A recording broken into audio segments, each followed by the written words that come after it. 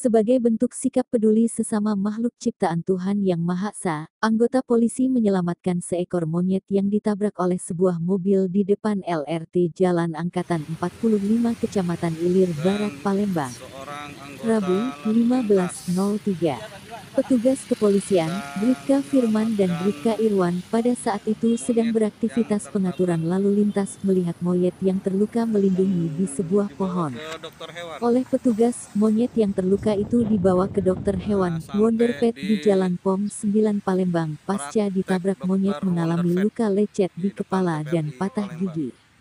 Setelah mendapat perawatan dari dokter hewan, selanjutnya Monyet yang sudah mendapat perawatan medis oleh petugas di Telantas Polda Sumsel bersama dokter hewan dikembalikan ke habitatnya melalui kantor Resor Konservasi Wilayah 4 yang berada di kawasan hutan wisata Punti Kayu, Palembang.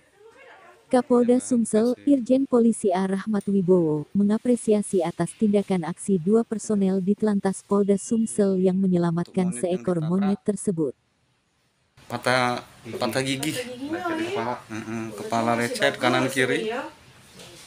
Hmm. masih ada sisa darahnya ya yang tadi kita bersih iya dek ya ini masih hmm. habis kondisinya ampun kasihan.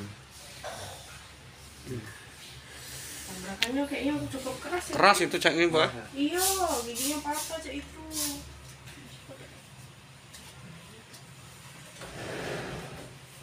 Ini kayak monyet liar, Mbak. Iya, kayaknya dia. Hmm. Kebersih dulu ya, Pak ya. Nyebrang mungkin ketabrak mobil, ditinggal. Iya.